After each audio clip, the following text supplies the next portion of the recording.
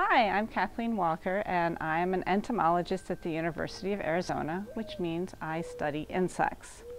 And I have always loved science, and I really loved plants when I was a kid, but whenever I looked at plants, I noticed they were always with insects on them and insects around them. So I decided I would focus on the insects as well as the plants. Um, and what I study now are mosquitoes, which are insects that nobody really likes but they're really important because they can transmit serious diseases to people, to other animals, and even between other animals and people.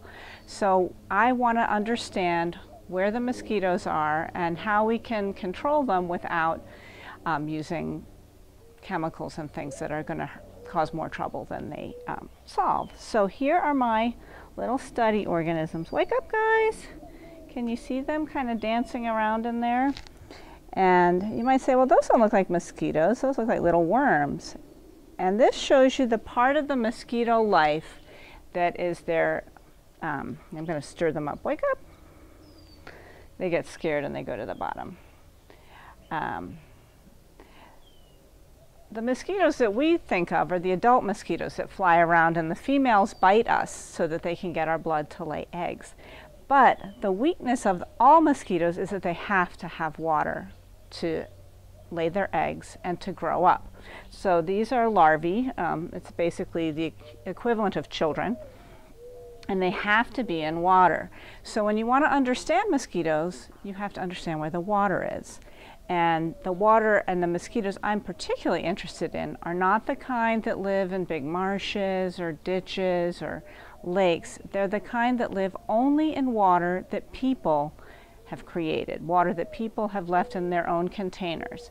So this is all about humans making mosquito habitat and then getting bitten by the mosquitoes they accidentally reared. So um, the mosquito that I'm especially interested in is been in the news a lot. It's called Aedes aegypti. It's a little stripy mosquito, and she can carry Zika and dengue and chikungunya and yellow fever. And she only lives here where there are people. She's not native here. She does not like to use the native riparian areas. She only likes places around people's houses where people collect water, usually by accident. So we're going to look around my yard and figure out all the places that mosquitoes can find a home because I have done something unwise with my water. So the first thing is, let's see, um, it's much easier for mosquitoes to find water in the rainy season. But if you have sprinkler irrigation or if you just slop your water around, mosquitoes can find a place to live year round. So let's move over here. So this is the classic messy place that everybody has in their yard. And I'm going to take along with me a little white bowl so that I can see. And I'm going to look for some water. And I can already see there's water here, so maybe there's water over here. My kids were having a water gun fight, and they left water in the bottom of the bowl with their water guns. Now you might say, well, how can a mosquito live in that? And the answer is very easily. So let's see. Let's pour it out. It's hard to see when it's all dirty. So let's see if there's anybody swimming in there. You see anyone swimming? I see a lot of dirt swimming, but I don't see any mosquitoes. Okay, so that's clean.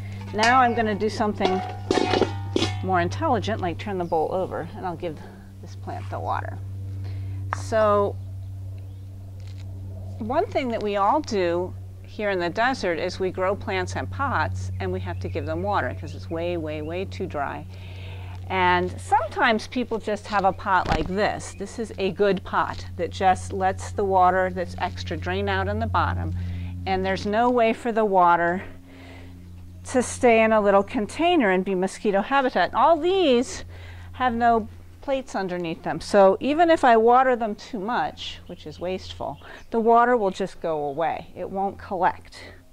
But if you come over here, we thought we would give our tomatoes extra water. And we put a little saucer around it. Oh, bad idea. So let's take this one up. Ugh, and it's really heavy. And look at all the water in here. And this is water that gets added to all the time because, you know, you have to keep watering your plant. So it's perfect for my mosquito. see anything. I have to get really close. And so remember, you're looking for little wormy things that are swimming around, and sometimes they get scared, so they don't want to swim. I don't think I see anything in there. Do you see anything in there? No, I think we're good. Okay, so I'm going to give it to plants. And now, I'm not going to use that, and I'm just going to put it back like that. All right, here we have the other tomato plant. Ugh. And we have an even grosser looking dish. You gotta like gross water in my line of work.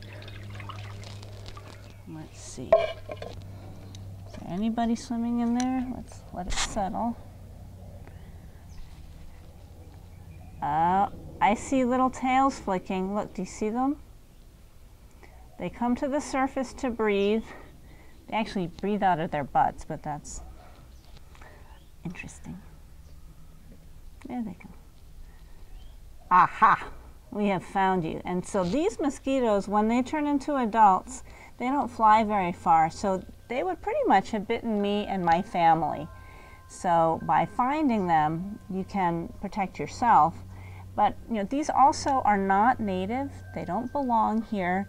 And the only reason they can live here is that we humans create habitat. So this is something that this is a habitat we should not be creating. It doesn't belong. And it's also a waste of water. So in a riparian area, if somebody created water, would they like compete for other resources? Um, this mosquito would not go there. They don't like to be, uh, most mosquitoes um, that I found of this species are within about 10 feet of someone's house. They're very close. They, they like our blood.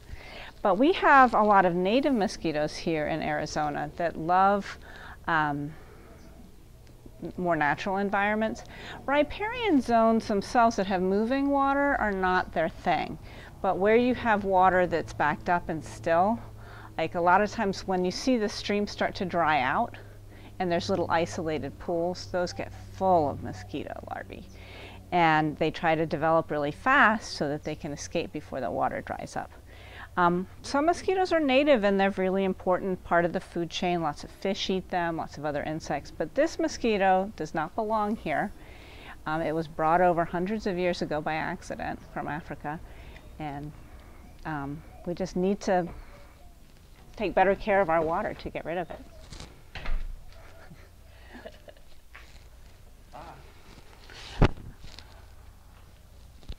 So, Uh,